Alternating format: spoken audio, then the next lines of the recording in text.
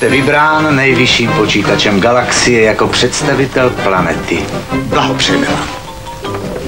Přijeli jsme schromáždit systematické objektivní informace o poměrech na Zemi. Jestli jste opravdu přiletěli z kosmu, tak byste přece vypadali úplně jinak. A jak? No, třeba jako zelení pidi mužíci nebo tak něco. Srdečný pozdrav ze země koule. V pondělí ve 20 hodin na CS Filmu.